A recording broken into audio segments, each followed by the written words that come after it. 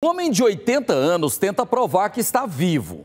Você já deve ter visto esse homem aqui no Balanço Geral. Eu já estive na casa dele, já contei a história dele. Né? Quando eu contei a história dele, é, ele aparecia como, era dado como morto pela Previdência Social. Nós lutamos na época até que ah, o benefício dele foi restabelecido. Olha o que aconteceu a, a, o benefício foi bloqueado de novo. O CPF dele foi suspenso duas vezes pela Receita Federal e por isso a Previdência Social bloqueou a aposentadoria dele, alegando que ele está morto. Mas ele está vivinho da Silva. E o Divino Rufino vai contar para você. Todos os dias, logo quando acorda, seu Valdivino agradece a Deus pela vida. Obrigado, Senhor. Mais uns dias eu estou levantando. Estou levantando com saúde. Junto do agradecimento vem um pedido de proteção. Isso porque o idoso de 80 anos já morreu duas vezes. A primeira morte foi em 2006 e quem matou ele foi o INSS. Por conta disso, a aposentadoria dele foi suspensa. Em janeiro, o jornalismo da Record TV Goiás mostrou a história. Esse documento da Receita Federal confirma que Valdivino é falecido. Ele até esboça uma brincadeira ao se intitular um morto-vivo. Tô vivo e comendo. Comendo e fazendo raiva nos outros. Com os comprovantes da Justiça Eleitoral nas mãos, Valdivino prova que votou nas últimas eleições. Apesar de oficialmente ser considerado morto e estar com o CPF cancelado. Não teve problema nenhum. Fui na urna, bati lá e peguei só os papelzinhos e vim embora. No mesmo dia em que a reportagem foi ao ar, o CPF do seu Valdivino foi reativado e a aposentadoria foi restabelecida. Só que três meses depois, o INSS matou ele de novo e a aposentadoria foi suspensa mais uma vez.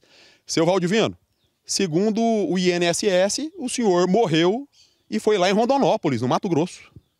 Uai, uai. Aonde que fica isso? Que eu não sei. Nem conheço esse lugar. Nunca saí. O lugar que eu já saí daqui foi para Goiânia, para casa do meu menino. Mas esse Rondonópolis lá eu não conheço, não. Se me soltar lá, pode, pode dizer que eu estou perdido, porque eu não sei onde que é, ué. E além do mais, tá vivão, né? Nem não morreu e não foi lá. Tô vivo aqui, olha, aguando as plantas rastelando o terreiro, tratando das galinhas. O filho de Valdivino conta que toda essa confusão começou quando o pai foi tirar a segunda via da carteira de identidade. Antes da reportagem do Dolores, nós tivemos na Receita Federal por três vezes, né, de qual foi negado todas uh, as entradas nossas quanto à reativação do CPF dele. A partir daí, teve a reportagem, da chegada em casa, foi já ligaram para nós que estava liberado o CPF e, posteriormente, conseguiu receber o benefício dele, os meses que estavam atrasados. E foi para a cirurgia, né, foi uma consulta médica, fez duas cirurgias vasculares, é, amputação de dedos. E, porém, a partir de, do mês de abril, né, março, março e abril, cortou novamente o benefício dele, constando o óbito novamente. O mesmo óbito desde 2006 que vinha é, carregando isso nas costas, né? Gilmar tem ajudado os pais comprando remédios e pagando algumas contas da casa, mas quer que a situação seja resolvida o quanto antes, até porque tem três filhos pequenos para criar. Esperamos que seja resolvido, até porque nós fomos já na Polícia Civil, né? Fizeram a entrevista com ele, viu que ele está vivo, né? Dos documentos dele baixos, tudo, tudo foi apresentado, foi solicitado, foi apresentado e foi devidamente né, averiguado que ele está tá em dia os documentos dele, inclusive, né? Morto não tem CPF ativo, né? E do qual dele está ativo. Então nós precisamos, né, ou queremos que a justiça observe isso, né, com carinho, né, para nos ajudar. E se alguém ainda tem alguma dúvida de que o seu Valdivino tá vivão e vivendo, ele manda um recado. Alô, NSS, eu tô vivo. Eu tô aqui, eu quero receber. Eu tenho direito.